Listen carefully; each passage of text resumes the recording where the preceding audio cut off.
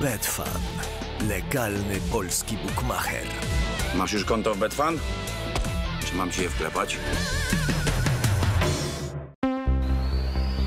Mila, Mila i gol! Sebastian Mila 1 do 1! Z pierwszej piłki bardzo mocno przeciwległy do Drugi rzut rożny dla Wisły i...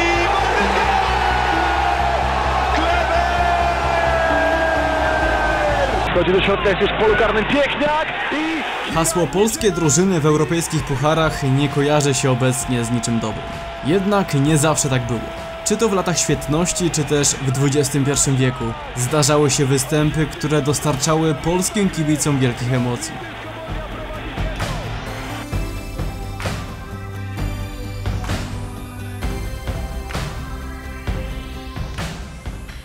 Dzień dobry, kolejna dawka programu Niemożliwe nie istnieje, a dzisiaj rozpoczynamy taki mini cykl polskich drużyn w europejskich pucharach. Przewiduję jak na razie trzy części, bo też chciałbym, żeby te wszelkie historie były jak najbardziej rozbudowane, a nie streszczone w pigułce. Mam nadzieję, że to rozumiecie i że taka forma będzie Wam odpowiadać, więc zanim jeszcze przejdziemy do materiału, ja Wam tylko przypominam, że z kodem FOODBREAK zyskujecie zakłady bez ryzyka nawet do 600 zł na stronie Betfan. A teraz rozpoczynamy pierwszą część, w której o Groklinie, a także o Wiśle Kraków. Jeszcze zachęcił swoich kolegów z zespołu do pójścia w pole karne. Mila, dośrodkowanie, Wieszczycki i gol! Honorowe trafienie Tomasza Wieszczyckiego. Jedną z najciekawszych przygód w Europie przeżył zespół Groklinu Dyskoboli Grodziec Wielkopolski. Klubu z niespełna 15-tysięcznego miasteczka. Dzięki zaangażowaniu lokalnego przedsiębiorcy Zbigniewa Drzymały, Groklin mógł pokazać się w europejskich rozgrywkach. Na początku był to epizod w mało prestiżowym Pucharze Intertoto w 2001 roku, z którego odpadli już w pierwszej rundzie po dwumeczu z bułgarskim Spartakiem Warna. Po zdobyciu wicemistrzostwa Polski w 2003 roku uzyskali prawo do gry w eliminacjach Pucharu UEFA. Nikt nie dawał im większych szans, ale nieznana wcześniej w Europie drużyna przeszła do najnowszej historii polskiej piłki. Wszystko zaczęło się od rundy wstępnej i spokojnego zwycięstwa z litewskim Atlantasem Kłajpeda. Na swoim terenie Groklin zwyciężył 2 do 0 po dwóch bramkach Grzegorza Rasiaka. Nie był to wynik wybitnie korzystny przed rewanżem na wyjeździe, ale na Litwie grodziszczanie zagrali znakomicie, wygrywając 4 do 1, a jedyną bramkę tracąc już w 90 minucie spotkania. O wyniku rozstrzygnął głównie duet znakomitych jak na tamte czasy napastników. Andrzej Niedzielan i Grzegorz Rasiak. W pierwszej rundzie Groklin trafił na Hertę Berlin. Piątą drużynę ostatniego sezonu w Bundeslidze, w której składzie grali tacy zawodnicy jak Gabor Kirali, Freddy Bobić, Niko Kować czy Artur Wichniarek. Na stadionie olimpijskim w Berlinie padł bezbramkowy remis. W rewanżu w Grodzisku bardzo długo utrzymywał się identyczny rezultat. 5 minut przed końcem jedyną bramkę w dwumeczu strzelił jednak Grzegorz Rasiak i sensacja stała się faktem. Kiraj, Niedzielan i Trener wicemistrzów Polski Duszan Radolski na konferencji pomeczowej mówił Nasze zwycięstwo jest ważne nie tylko dla dyskoboli, ale i dla całej polskiej piłki. To świetny wynik i mam nadzieję, że w następnej rundzie też się o taki postaramy. Byliśmy lepsi od Herty, a za duży sukces uznaję to, że w dwóch meczach z taką drużyną nie straciliśmy gola. W drugiej rundzie Groklin musiał się mierzyć również ze słynną drużyną, Manchesterem City. Oczywiście nie był to tak silny zespół jak obecnie, ale nie brakowało znanych nazwisk. David Seaman, Steve McManaman, Robbie Fowler czy Nicola Sanelka. I to właśnie po strzale francuskiego napastnika Anglicy prowadzili już od 6 minuty spotkania na City of Manchester Stadium. The first goal of the game, 1-0. Wicemistrzowie Polski się jednak nie poddali. Fantastycznym strzałem z rzutu wolnego do wyrównania doprowadził Sebastian Mila. I mecz zakończył się remisem 1 do 1. Mila i gol! Tak moment po strzeleniu bramki wspominał w swojej autobiografii Mila. Biegnę. Nie wiem co mam robić. Nie wiem co mam myśleć. Nawet nie wiem jak się cieszyć. Manchester City i Groklin to kluby z dwóch różnych światów. Jak głosi anegdota, dzień przed rewanżem w Grodzisku Wielkopolskim piłkarze z Anglii chwalili obieg dyskoboli, dopóki nie dowiedzieli się, że nie jest to boisko treningowe, ale właściwy stadion. Losów dwumeczu jednak nie odwrócili. Bezbramkowy remis promował dalej polską drużynę. Anglicy nie spodziewali się, że ogra ich drużyna z prowincji, z jakiejś tam Polski. Mówił Tomasz Wieszycki. Polskie kluby rzadko grają w Europie jeszcze na wiosnę, ale udało się to właśnie niepozornemu Groklinowi. W jednej 16 finału na drodze Grodziszczan stanęło Bordeaux, ale ten rywal okazał się już niestety zbyt mocny. Chociaż mogło ułożyć się zupełnie inaczej. Już od 31 minuty pierwszego meczu goście grali bowiem w osłabieniu po czerwonej kartce Eduardo Koszty. Tomasz Wieszczycki w przerwie meczu miał powiedzieć: Gdybyśmy tego nie wykorzystali, to bylibyśmy frajerami.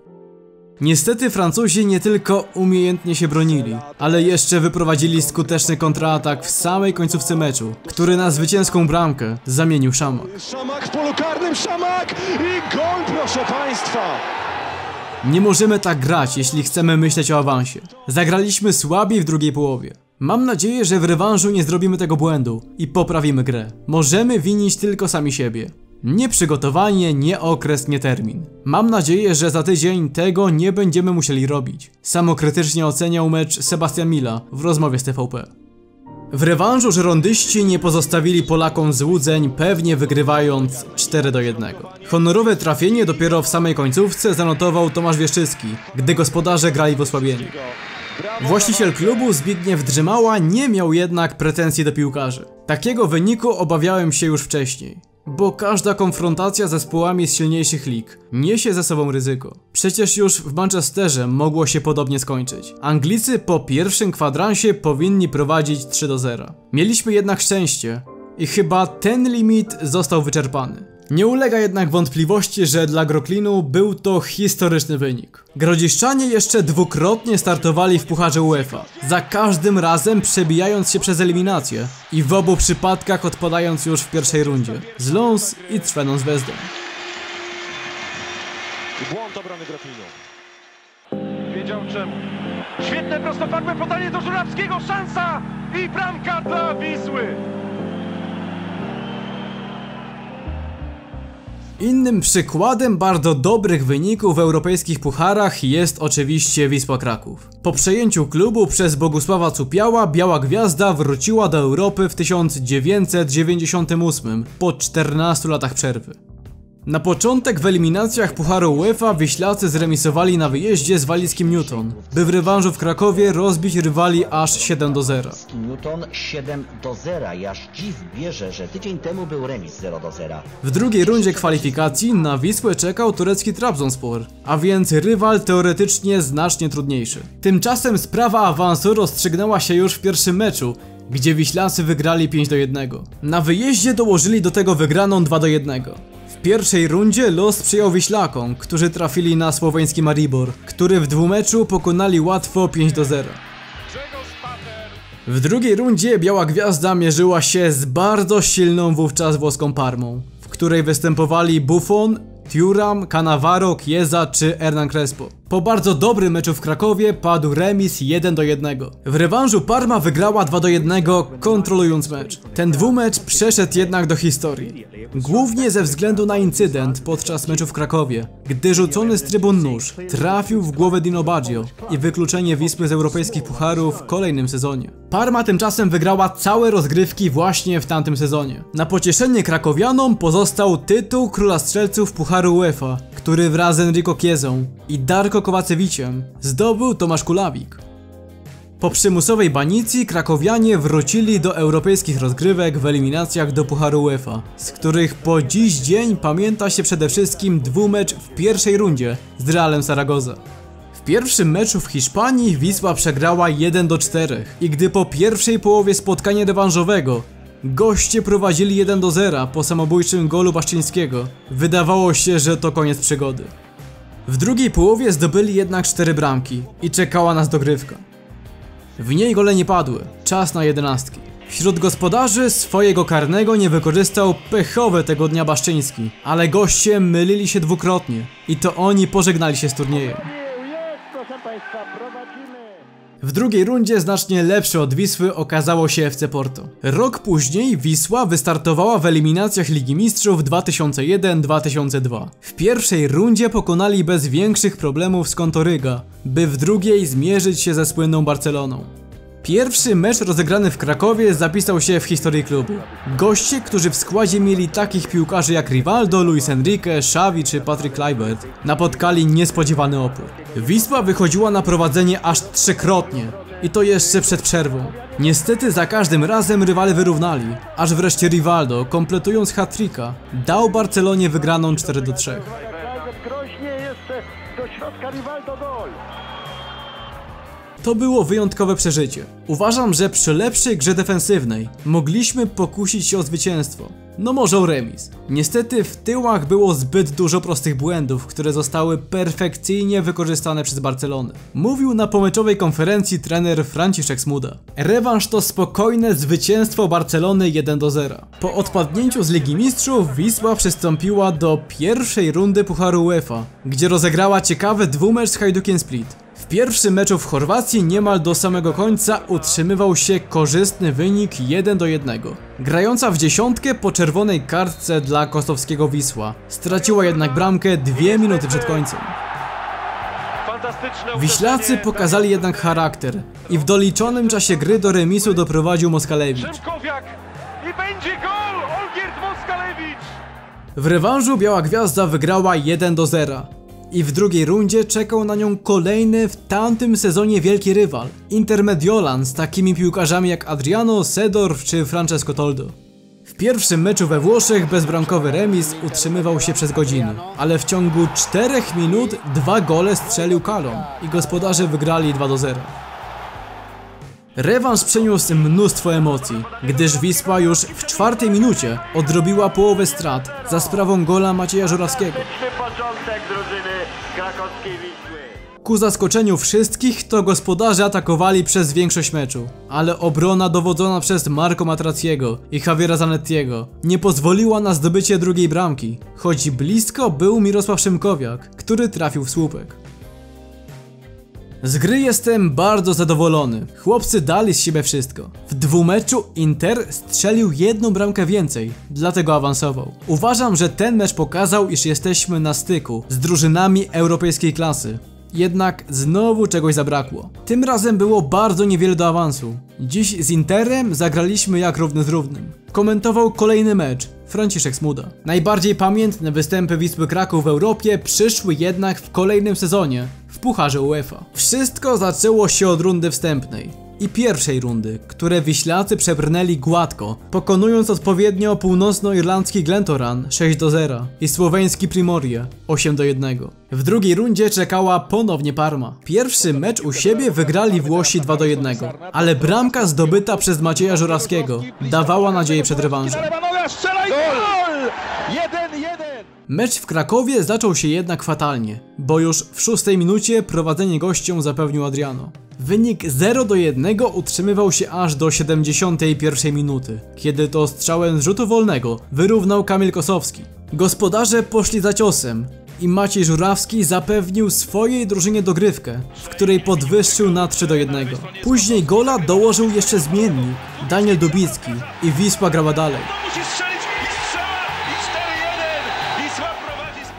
Można się cieszyć z takiego zwycięstwa, bo to przecież krok do przodu nie tylko krakowskiej, ale także polskiej piłki. Od dobrych kilku lat żadnemu z polskich zespołów nie udało się awansować do trzeciej rundy Pucharu UEFA. Mówił po meczu Henryk Kasperczak. W trzeciej rundzie Wisła mierzyła się z Schalke, które rok wcześniej było o krok od zwycięstwa w Bundeslidze. W pierwszym meczu w Krakowie Wiślacy długo prowadzili po samobójczym golu Christiana Pulsena, ale kilka minut przed końcem wyrównał Empensa i Schalke wywiozło z Polski korzystny remis 1 do 1. Taki sam wynik widniał na tablicy świetlnej po pierwszej połowie rewanżowego meczu na Arena w Schalke po golach Żurawskiego i Tomasza Hajty. Kilka minut po wznowieniu gry gości na prowadzenie wyprowadził Kaloucze. Schalke atakowało rozpaczliwie, by odrobić straty, co skończyło się dwoma ciosami Wisły, które wyprowadzili w końcówce Żurawski i Kamil Kosowski. Żurawski sam i gol! Gol, gol, gol! Wisła 3-1! Był to pierwszy wygrany przez polski zespół pucharowy dwumecz z niemieckim rywalem od 1985 i wygranej Widzewa z Borussią Mönchengladbach. Jestem szczęśliwy i w wielkim szoku. Do tej pory nie wierzę, że to się udało. Cała drużyna zagrała świetnie. Graliśmy cały czas swoje. Taktyka zakładała wykorzystywanie każdej nadarzającej się okazji do ataku. Nie broniliśmy się kurczowo. Chcieliśmy powalczyć o awans. Cieszę się, że udało się wygrać tak wysoko.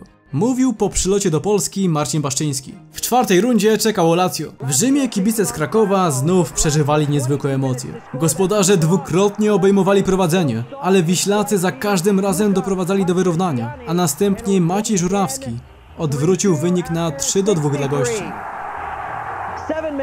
Ostatecznie mecz zakończył się remisem 3 do 3, który dawał dużą nadzieję przed rewanżem w Polsce. Spotkanie, które miało się odbyć 27 lutego, zostało jednak przełożone na 5 marca ze względu na stan boiska w Krakowie. Rewanż zaczął się dla Wiślaków w sposób wymarzony. Już w czwartej minucie prowadzenie gospodarzom dał Marcin Kuźba. Dość szybko goście wyrównali, ale korzystny dla Wisły wynik 1 do 1 utrzymywał się. W drugiej połowie niestety jedynego gola strzelili goście, a konkretnie Enrico Chiesa. Ten sam, który zdobył wyrównującą bramkę w Rzymie i ten sam, którego gol przyczynił się 4 lata wcześniej do porażki Wisły z Parmą.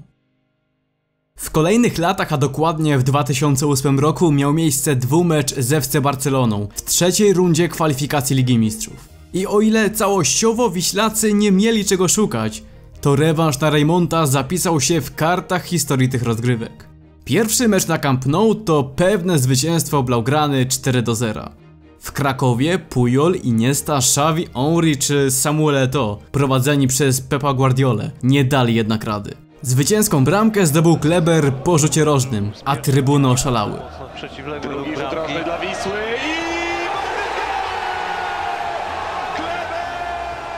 i... Tak, była to jedna z dwóch porażek Barsy w tamtej kampanii Champions League. Druga z Szachtarem w fazie grupowej, a finalnie Duma Katalonii doszła do finału, w którym pokonała Manchester United 2 do 0 po bramkach Eto'o i Leo Messiego. Ponownie z dobrej strony pokazali się dopiero w sezonie 2011-2012 w Lidze Europy. Wszystko zaczęło się jednak od kolejnego nieudanego startu w eliminacjach Ligi Mistrzów, gdzie w fazie playoffów Wiślacy okazali się gorsi od cypryjskiego Apoelu. W fazie grupowej Ligi Europy Wisła mierzyła się z holenderskim Twente, duńskim Odense i angielskim Fulham. Krakowianie rozpoczęli rozgrywki bardzo źle od porażek 1 do 3 u siebie z Odense i 1 do 4 w Holandii z Twente.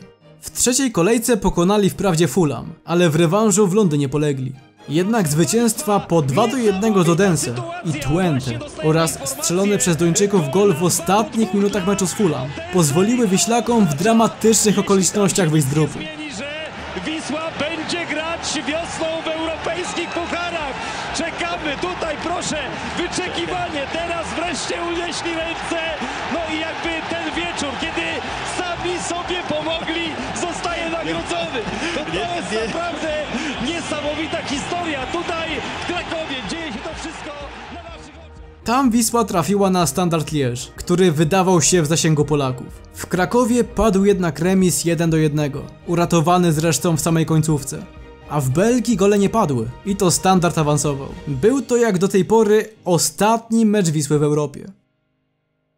Zachęcam Was, żebyście w komentarzach napisali, który z tych wszystkich omawianych w dzisiejszym odcinku występów wspominacie najlepiej. W kolejnym materiale z tego cyklu widzimy się albo w środę, albo w niedzielę. Oczywiście będę Was informował na Instagramie, więc osoby, które jeszcze tam nie są, zachęcam do obserwowania. Ja Wam dziękuję bardzo za uwagę. Nowe osoby jeszcze mogę prosić tylko o subskrypcję. Wszystkich o pozostawienie pozytywnej oceny pod tym materiałem. Na pewno wpłynie to pozytywnie na zasięgi. Trzymajcie się i do usłyszenia.